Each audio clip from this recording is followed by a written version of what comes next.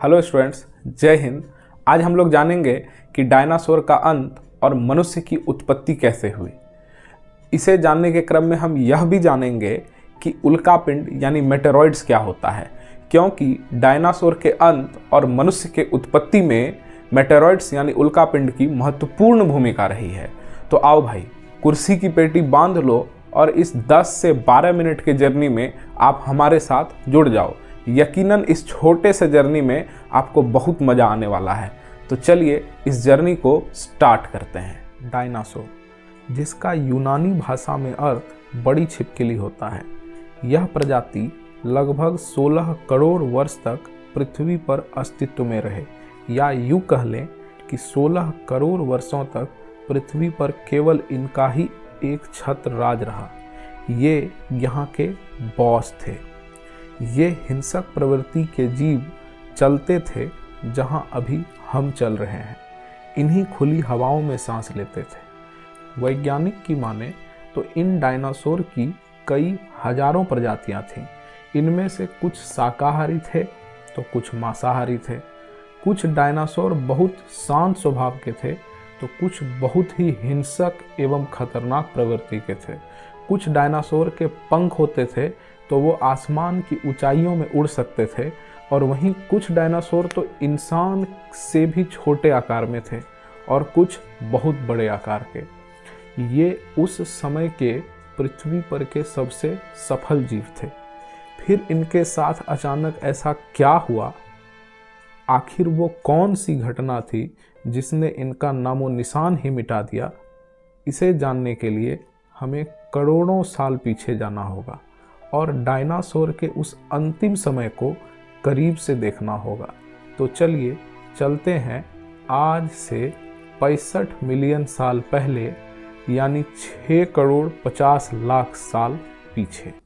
आज से लगभग छः करोड़ साल पहले पृथ्वी पर मौसम आज की तरह ही बिल्कुल सामान्य था। चारों ओर सूरज की किरणें बिखरी हुई थी। पेड़ पौधे, घने जंगल, समुद्र, नदी की लहरें, पहाड़, प्राकृतिक दशा बिल्कुल आज जैसी थी और डायनासोर पृथ्वी के हर कोने में पाए जाते थे। वैज्ञानिकों की खोज के बाद अंटार्कटिका से भी डायनासोर के अवशेष प्राप्त हुए हैं। लेकिन उनकी चल रही सामान्य ज़िंदगी के बीच एक भयानक खतरा उनकी ओर बहुत तेज़ी से बढ़ रहा था। एक ऐसा खतरा जो पृथ्वी की दशा ही बदल देने वाला था। इसे हम ऐसे समझते हैं कि हमारे सौर मंडल में कुल आठ ग्रह पाए जाते हैं, जो सूर्य के चारों ओर प्रतिदिन चक्कर लगाते रहते हैं, हर समय चक्कर लगाते रहते हैं। सूर्य से सबसे निकटतम ग्रह बुध है। बुध को हम लोग मरकरी कहते हैं। शुक्र, वेनस, तीसरे नंबर पर हमारा अर्थ यानी पृथ्वी आता है। चौथे नंबर पर मंगल यानी मार्स, फिर बृहस्पति, जुपिटर, फिर शनि, सैटर्न, फिर अरुण, यूरेनस और वरुण, नेपच्यून। कुल आठ ग्रह होते हैं जो लगातार सूर्य के चारों ओर चक्कर लगाते हैं। आप अगर गौर से देखेंगे तो मंगल और बृहस्पति की कक्षाओं के बीच में अनेक छोटे छोटे छोटे छोटे ग्रहों के टुकड़े पाए जाते हैं, जिसे हम क्षुद्र ग्रह यानी कि एस्ट्रॉयड कहते हैं। ये एस्ट्रॉयड भी बिल्कुल इसी ग्रह के तरह इस सूर्य के चारों ओर चक्कर लगाते हैं। और ये संख्या में बहुत अधिक होते हैं। ठीक है? और जब कभी भी ये एक एस्ट्रॉयड गति करते करते दूसरे एस्ट्रॉयड से टकरा जाता है तो इसकी वजह से उस एस्ट्रॉयड का दिशा बदल जाता है। और मंगल जो है, वह इस एस्ट्रॉयड को अपनी ग्रेविटेशनल पुल के कारण अपनी ओर खींच लेती है। और जैसा कि हम लोग जानते हैं कि मंगल जो है, वह भी गतिशील है तो इसको अपनी ओर खींचने के बाद मंगल जो है, वह आगे गति कर जाती है। ठीक है? और ये जो बकलोलवा है, ये जो आपका एस्ट्रॉयड है, ये सीधे पृथ्वी पर आ जाता है। ये सीधे पृथ्वी की ओर बढ़ जाता है और इसे ही हम उल्का पिंड कहते हैं मेटेरॉयड कहते हैं। ठीक है? और अगर ये पृथ्वी पर गिर जाए तो किसी की भी जान ले सकता है। और ये प्रतिदिन गिरते रहते हैं, हर दिन गिरते रहते हैं। पता चला कौनों के मथा पे गिर गया तो उसका जाने चला जाएगा। लेकिन आखिर ऐसी कौन सी चीज़ है जो हमें इनसे बचाती है? ये प्रतिदिन हज़ारों की संख्या में गिरते हैं। तो हमारे पृथ्वी के चारों ओर लगभग 640 किलोमीटर मोटी वायु की परत होती है, जो हमारे लिए रक्षा का काम करती है, एक रक्षा कवच का काम करती है। जब भी ये उल्का पिंड पृथ्वी की ओर गिरता है तो हवा का घर्षण इतना ज़्यादा होता है, इसको आप ऐसे समझ सकते हैं कि जब भी आप बस पर बैठे होते हैं और चलती बस से जब आप खिड़की से अपना सर बाहर निकालते हैं तो आपके फेस पर, आपके चेहरे पर हवा का बहुत तेज दबाव लगता है। यही कारण है यह हवाई जहाज़ के शीशे बंद होते हैं। नहीं तो पता चला कौनो बकलोलवा खिड़की से अपना मुँह बाहर निकाल देलिस तो क्या होगा कि हवा के झोंका के साथ उड़ जाएगा। है कि नहीं है? यही रीज़न है कि बुलेट ट्रेन जो होता है, उसका खिड़की बंद होता है। तो जब ये उल्कापिंड पृथ्वी की ओर गिरता है तो घर्षण की मात्रा इतनी अधिक होती है हवा की, इतना अधिक फ्रिक्शन लगता है इस एस्ट्रॉयड इस मेटेरॉयड पर कि ये ऊपर ही जलकर ख़त्म हो जाते हैं। लेकिन कभी कभी इस उल्कापिंड का आकार इतना बड़ा होता है कि ये ऊपर पूरा पूरा जल नहीं पाते हैं, जिसके कारण ये पृथ्वी पर गिर जाते हैं। इसी को हम लोग उल्कापिंड कहते हैं। आज से लगभग 10 करोड़ साल पहले एक ऐसा ही घटना घटता है, जिसके कारण पृथ्वी की पूरी दशा बदल जाती है और एक नया आरंभ होता है। हुआ यूँ कि पृथ्वी से लगभग 20 करोड़ मील दूर एक बड़ा सा एस्ट्रॉयड मंगल और बृहस्पति के इसी क्षुद्र ग्रह बेल्ट में घूम रहा था।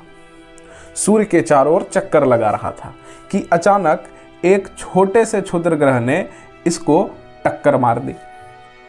जिसकी वजह से ये जो बड़ा सा एस्ट्रॉयड था, जिसका नाम था इजिप्टा, ये इजिप्टा एस्ट्रॉयड जो है, ये एक छोटे से एस्ट्रॉयड यानी क्षुद्र ग्रह के टक्कर से इस क्षुद्र ग्रह बेल्ट से निकलकर मंगल के ओर आकर्षित हो गया।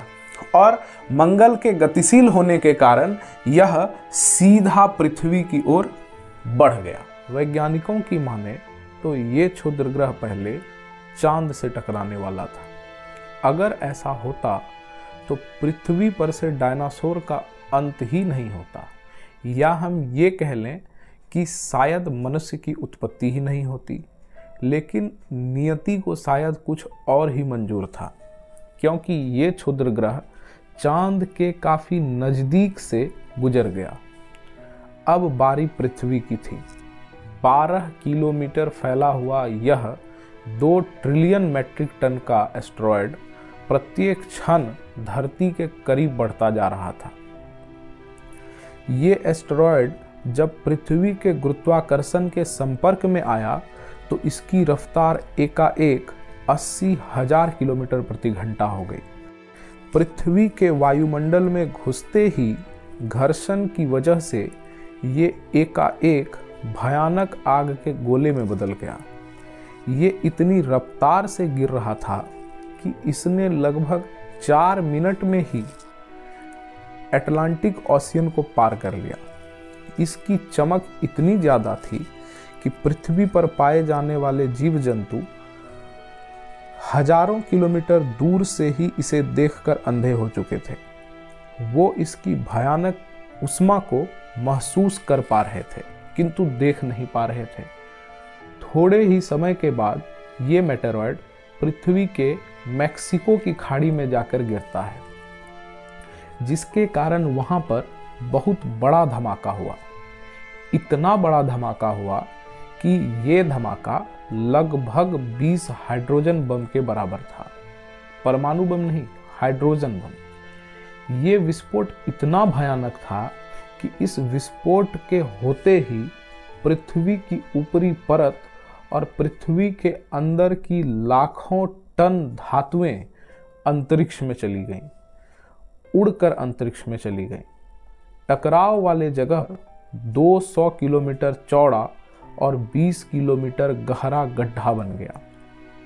टकराव के कारण यहाँ का तापमान लगभग 200 डिग्री सेल्सियस हो गया, जिसके कारण टकराव वाली जगह के आसपास के डायनासोर तो वहीं झुलस कर मर गए।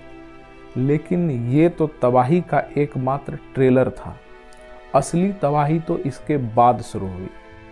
जो धातु एवं पत्थर के टुकड़े विस्फोट के बाद अंतरिक्ष में चले गए थे। अर्थ की ग्रेविटेशनल पुल के कारण वापस लौटे। और जब ये वापस लौटे तो इन टुकड़ों ने आग के गोलों का रूप ले लिया, जिसके कारण हवा में उड़ने वाले डायनासोर ऊपर ही मर गए। लगभग सत्रह मिनट के बाद जमीनी टकराव की वजह से धरती के अंदर लगभग 11 तीव्रता की भूकंप उठने लगी।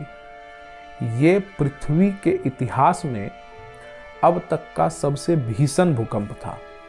इतने बड़े भूकंप के कारण जितने बड़े आकार वाले जीव जंतु थे, वो पृथ्वी के नीचे दबकर मर गए।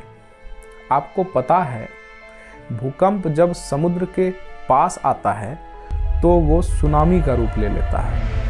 और ये समुद्र के पास ही आया था। ये मेटेरॉइड मैक्सिको के खाड़ी में जाकर गिरा था, जिसके कारण ये भयानक भूकंप के साथ साथ सुनामी का रूप भी ले लिया। और सुनामी की जो लहरें आई, उसने पूरे समुद्र के पानी को उठाकर भूमि पर पटक दिया, जिसके कारण बहुत से डायनासोर मारे गए। भूकंपीय तरंगों ने सभी सक्रिय ज्वालामुखियों को दहका दिया, जिसके कारण जगह जगह डायनासोर का विनाश शुरू हो गया। धरती के महाविनाश की प्रक्रिया आरंभ हो चुकी थी। इस भयानक विस्फोट में रेडिएशन इतना बढ़ गया कि इसके एक हज़ार किलोमीटर रेडियस में आने वाले सभी जीव जंतु जलकर राख और खाक बनते चले गए। साथ ही धूल का एक बहुत बड़ा सैलाब, या आप कहें धूल भरा बादल, हज़ारों किलोमीटर प्रति घंटा की रफ्तार से पृथ्वी के दूसरी तरफ़ के जीव जंतु की मौत लिखने को तैयार था। ये धूल भरे बादल इतने मोटे थे कि इसने सूर्य से आने वाली रोशनी को ही ढक दिया, और लगभग साल भर तक सूर्य के एक भी किरण पृथ्वी को छू नहीं सकी, जिसके कारण गर्म हवाओं का तापमान 100 डिग्री सेल्सियस से भी अधिक हो गया, जिसे हम ग्लोबल वार्मिंग कहते हैं। तापमान अधिक हो जाने के कारण आधे से अधिक पेड़ पौधे जलकर खाक हो गए, जिसके कारण शेष बचे छोटे बड़े डायनासोर भूखमरी के कारण मर गए। लेकिन ये महाविनाश की घड़ी कुछ अन्य जीवों के लिए फ़ायदेमंद साबित होने वाला था। धरती पर से इन बड़ी छिपकलियों अर्थात डायनासोर का अंत इन छोटे जीव जंतुओं के लिए नया सवेरा लाने वाला था और वो प्रजाति थी मैमल्स की। मैमल्स क्या होते हैं? ये महाप्रलय से कैसे बच गए? धरती पर से डायनासोर के अंत के बाद इंसान कहाँ से आए, ये जानेंगे हम लोग अगले वीडियो में। अगर आप चाहते हैं कि हम अगला वीडियो जल्दी लाएँ तो इस वीडियो पर कम से कम तीन हज़ार लाइक्स ज़रूर दीजिए। और अगर आपको हमारी वीडियो अच्छी लगी हो और आप हमारा सपोर्ट करना चाहते हैं तो इस चैनल को सब्सक्राइब ज़रूर कीजिए और हमारे वीडियोज़ को अपने दोस्तों में शेयर कीजिए। तो आज के लिए इतना ही। अब हम लेना चाहेंगे आपसे विदा। आप और किस टॉपिक के बारे में वीडियो चाहते हैं कमेंट बॉक्स में ज़रूर लिखें।